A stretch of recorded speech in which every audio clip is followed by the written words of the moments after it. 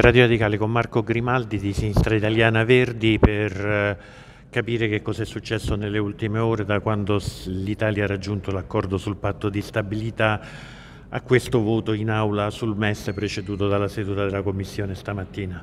Allora, che cosa è successo nelle ultime ore e che cosa provocherà questo, uh, questo stop per sei mesi alla ratifica del MES? Ma forse per eh, chi ci ascolta bisogna farlo per fotogrammi, facciamo delle immagini. No? Eh, vediamo una um, Presidente del Consiglio molto agitata, siamo in aula e, e lei rimprovera diciamo, ai governi precedenti di fatti, essersi fatti tanti selfie e non aver portato a casa nulla. Fotogramma. Arriviamo a un altro fotogramma, la vediamo dentro diciamo, un bar con, proprio con la Francia e la Germania con Macron, con Scholz, che discute e si apprende da, diciamo, dai giornali che sta trattando fino in fondo per la revisione del patto di stabilità, a proposito di selfie e immagini che ha fatto circolare ad arte. Oggi di fatto che cosa abbiamo visto? Abbiamo visto in realtà la reazione a altre due foto. La prima è quella di due giorni fa. In realtà la Germania e la Francia si vedono il giorno prima e dicono tutto a posto, il patto di stabilità c'è già, c'è, è nuovo, sta per arrivare. La Meloni prova a prendere ancora un po' di tempo e dice no, non è detto.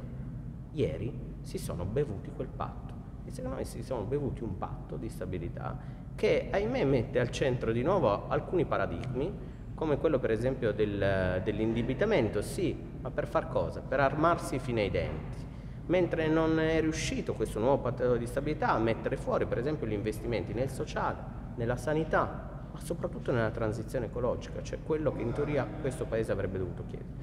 Allora, la verità che cosa è successo? È successo che la Meloni si è trovata in difficoltà, ha dovuto ratificare quel nuovo patto di stabilità, ha raccontato per mesi che non avrebbe approvato il MES finché non ci sarebbe stato appunto il peso dell'Italia sul patto di stabilità.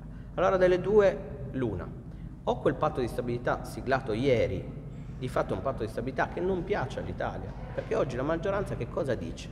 A questo punto noi votiamo contro la ratifica del MES, utilizzando delle scuse, delle scuse perché oggi in Commissione Bilancio cosa è successo? Anche lì è un tema un po' complicato, ma il parere della Commissione Bilancio non era nel merito della compatibilità finanziaria del MES, cioè non era, non era una richiesta al MEF sui, come si può dire, sugli oneri diretti o indiretti sulla finanza pubblica.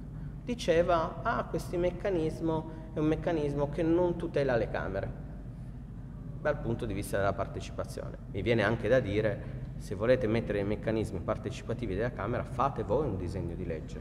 Questo era, come sapete, un disegno di legge di due forze dell'opposizione, cioè il PD e ehm, Azione. Ehm, quindi che cosa è successo? È successo che si è votato contro uh, eh, con un parere contrario della Commissione bilancio, utilizzando questo come pretesto per poi eh, bocciare l'articolo 1 di questi due provvedimenti. Ma quello che voglio dire agli spettatori che ci ascolta è molto semplice. Il MES, secondo voi, verrà non ratificato da questo governo? Secondo me lo ratificheranno. Semplicemente oggi hanno voluto coprire gli errori di ieri e tutta la retorica degli scorsi mesi. E quindi Dobbiamo prendere con le molle il voto di oggi che ci dice che in nessuno dei due schieramenti ci sono i voti per ratificare il MES. Lo rivedremo tra sei mesi questo? Io credo che lo vedremo molto presto. Ma tra sei oggi, mesi? Sì, lo vedremo molto presto su, sulla scena, ma io credo che si sottovaluti un, un, un fatto. Eh, intanto vediamo com'è questo patto di stabilità, vorrei leggerlo, perché non vorrei che il combinato disposto di non aver ottenuto quello che potevamo ottenere ieri e questa vicenda del MES portino in realtà in una crisi istituzionale e anche finanziaria questo Paese. Ecco, questo non lo auspica nessuno, dico anche sapete, noi eravamo fortemente critiche, critici sulle condizionalità sospese perché in qualche modo non vorremmo che ritornassero in campo. Come sapete noi siamo contro le privatizzazioni, siamo contro l'idea che qualcuno ci imponga delle riforme strutturali mentre noi vogliamo un MES diciamo, comunitario e non intergovernativo. Ecco, questi scenari continueranno a esserci e vedremo nei prossimi mesi come se la caverà questo governo. Scusi, una domanda che credo non le piaccia, ma pensa che i mercati come prenderanno questa, questa schizofrenia del voto a favore del patto di stabilità e poi il no successivo al MES? Ma io spero diciamo, che le condizioni in questo Paese vadano oltre che, la sceneggiata che abbiamo visto in Parlamento. Sono preoccupato per l'economia italiana e per una possibile recessione, ma non per questo, perché continuiamo a non capire che senza vere politiche industriali rischiamo di andare a sbattere. La verità è che senza i fondi del PNRR, di cui nessuno parla, saremmo già in recessione.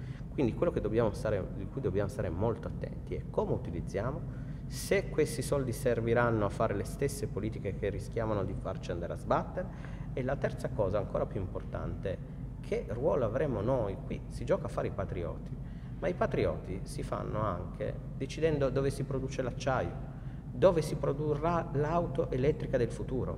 La Panda si farà a Pomigliano o in Serbia? Ecco, ai patrioti di oggi diciamo noi siamo pronti a sfidarvi sul Made in Italy e sugli interessi nazionali voi non siete pronti a un bel nulla. Grazie Marco Grimaldi, Sinistra Italiana Verdi.